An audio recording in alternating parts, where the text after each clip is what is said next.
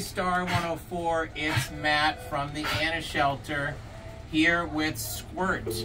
Now, you may have seen uh, Squirt's sibling Scrappy last week on the video. So we might have mentioned then that we have the siblings here that are, believe it or not, a Lhasa Apso Pitbull mix. And uh, Squirt's just really excited here.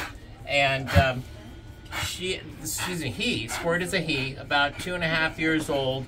And just uh, if you notice some of the uh, scarring here and missing hair, uh, basically let this be a warning of what happens when you don't treat your animals for uh, flea prevention, which unfortunately happened with Squirt um, and his brothers. So they're recovering nicely and ready for adoption now. A reminder, you can come in walk-in hours every day except Sunday, most days 12 to 5, and you don't need to do a, an application ahead of time. But he's a very well-behaved dog, but also uh, definitely playful.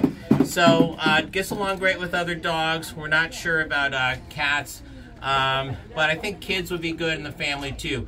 Uh, so anyway, come on by, visit Squirt or any other fine dogs we have. Um, right now we have a, a fun drive going on for cleaning supplies. So keep that in mind if you want to bring something to us or just have something around the house that you have too much of or can't use anymore. We thank everyone for your continued support and generosity.